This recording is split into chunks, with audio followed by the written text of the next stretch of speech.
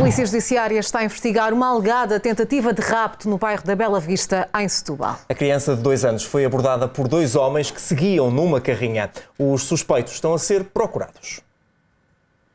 A criança estava na rua perto de alguns familiares no bairro da Bela Vista, em Setúbal, quando, pouco antes das 11 da noite, uma carrinha com dois homens no interior parou perto da menina de dois anos.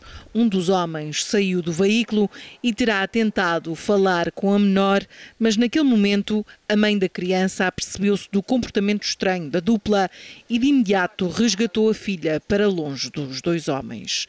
Perante o cenário de uma tentativa de rapto, a mãe da criança dirigiu-se à esquadra da Bela Vista, a alguns metros do local para denunciar a situação.